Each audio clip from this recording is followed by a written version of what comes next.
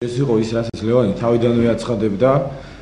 უბრალოდ მან დამატებით შეიტანა სინათლე ამ საკითხში ამბობდა რომ მხოლოდ მხოლოდ იმ შემთხვევაში მიიღებდა არჩევნებში მონაწილეობას თუ ის იქნებოდა ერთიანი კანდიდატი.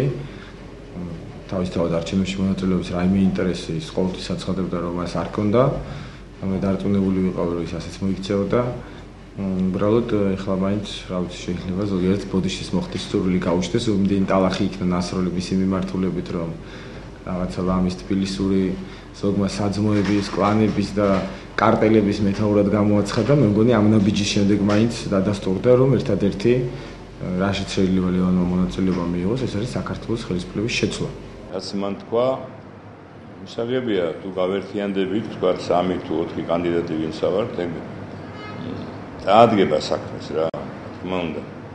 მაგრამ ჩვენ ისე ჩვენ პოზიციაზე ვართ. შევიკრიფოთ ჩვენ ქართველი ოპოზიციონერები ესე ვთქვათ, ვიღაცის გამოკვლევას რატომ არ მივენდოთ, უცხოელების გამოკვლევას, რომელიც თქვათ, რომელიმე დავждეთ ერთად, ვიკამათოთ ბევრი, შეიძლება ერთი დღეს არ გიყოს. მე ოპოზიციაში არის ეს გამოცდილება, რომ ყველაფერზე ვიკამათოთ, მაგრამ დავიდეთ, ვიკამათო და ავარჩიოთ ჩვენ და არა ამერიკელებმა გვითხრან, ვინ არის ყველაზე კარგი.